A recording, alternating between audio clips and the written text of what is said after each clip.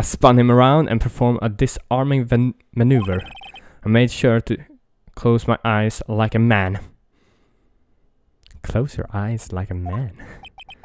Uh, I, uh, see. He must have been desperate. Next thing I knew, his white coat was drenched in a sea of my blood. And then... Then, the next thing I knew... Yes? He punched me right in my face, sir.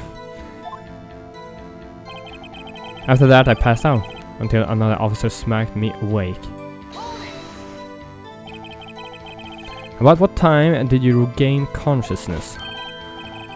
No offense, sir, but how am I supposed to know that? I was unconscious. Oh, right. According to the report from the officer that woke up the witness, it was about 5.30. He hit me right in the head too. I woke up crying tears of pain. That's nice. Uh, I mean, it's nice that he recovered, that is. When I came around though, I made sure to finish my mission, sir. Your mission? Yeah, the Blue Badger, right? Yes, sir. The Blue Badger, sir. I returned him to the entrance before things got out of hand. Before things got out of hand! I do believe that everything went out of hand already, but okay. Well, we can all rest easy now. I believe we now have a fairly accurate picture of what happened. Yes, Your Honor. Only one thing remains unclear. Was the man this officer... Was the man this officer murdered really the victim? He's got a point. Um... Yes, Officer Meekins? With regard to that, sir, take a look at this. It was sent to my jail cell. Chief Gant delivered it to me just this morning, sir. Yeah. Something is wrong with Chief Gant. Something is wrong. The chief?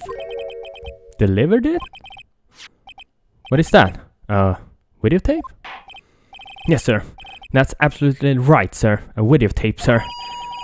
It contained footage uh, from the security camera in the evidence room.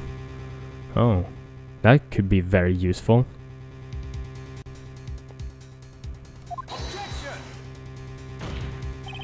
What? But I specifically asked if there was such a tape and was told it had been mistakenly erased. That's quite a mistake. I just do what I'm told, sir. It's the only thing I'm really good at. Looks like communication with the police department is as good as ever. Well then, let's have a look. Show us the video of your murdering the victim.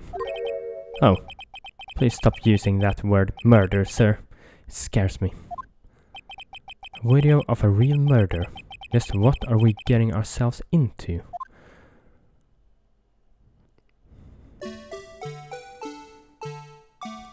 Was it on?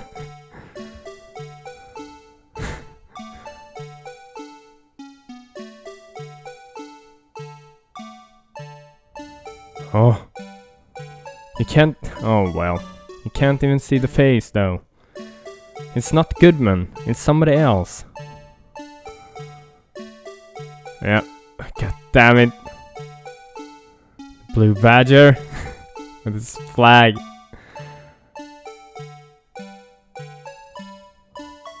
Now it's gone and he's on the ground. No? Oh? Oh, wow.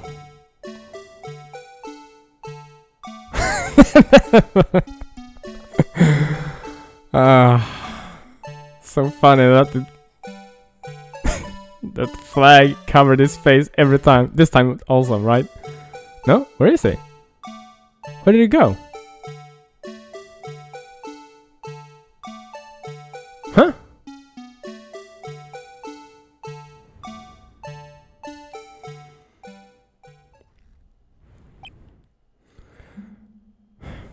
Wasn't useful at all.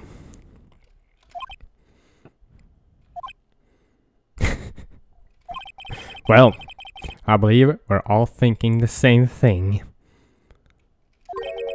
How can we deal with these unsettling feelings stirred within us? What the hell was that wriggling piece of plywood?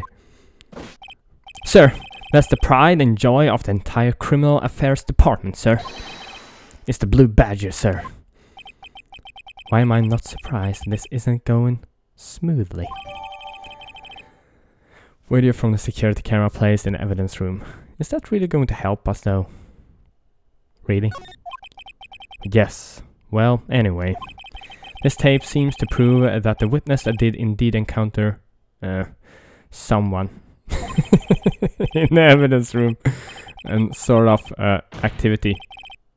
Your Honor, instead of relying on on clearly incomplete footage, the witness's testimony will suffice.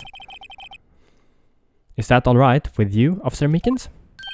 Yes, sir. As you wish, sir. Mr. Man. Okay. His face can't be clearly seen in the video. But there's no question that the other person was Detective Goodman, sir. No question at all? Really? I mean, he opened the locker, which required Detective Goodman's fingerprint to do. The locker he opened is unquestionably Detective Goodman's locker, sir. So it must be him. No one else could have unlocked it. Maybe it was unlocked already, though.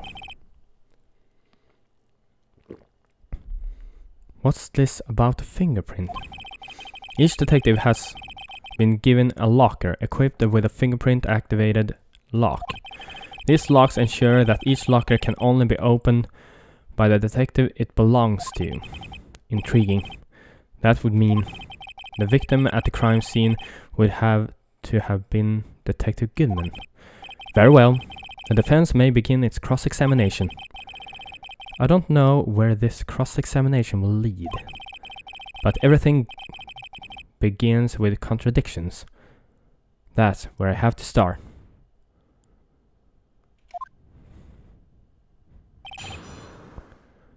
Okay. His face can't be clearly seen in the video. Tell me, were you able to get a good look at him? I don't think so.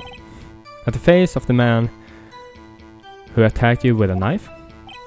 S sir, if you must label people as having seen or not seen the man's face, I believe it would be classified as the latter.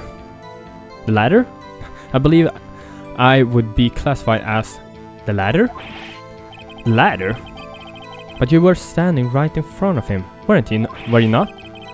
More to the point, you are the person who fought him, aren't you? Oh, yes sir, but I didn't get a clear look at his face, sir. I'm not the kind of guy who looks directly at people when talking with them, you see? Yeah, that's a good trait for a police officer. Still, I'm sure it was him. I'd bet my badge on it. But there's no question that the other person was the... But there's no question that the other person was Detective Goodman, sir. But you don't know that for sure, do you? You never actually saw Detective Goodman's face. Well, I suppose you might say that. He's just totally relying on the thing, the thing that uh, he could open his his locker. Or probably not his locker, but that locker. That is, if you must label people as having seen or not seen it since his face can't be identified in a way that only you can verify. M why is everyone looking at me? If I had to label your stares as disturbing or... Meekins! Hey! Having been shown a questionable video at best, we are not in the best of moods. Now please be more certain when you testify. Y yes, sir. You claim the man who brandished a knife on you was Bruce Goodman. Tell us why you are positive it was him. I mean, he opened the locker which required Detective Goodman's fingerprint to do.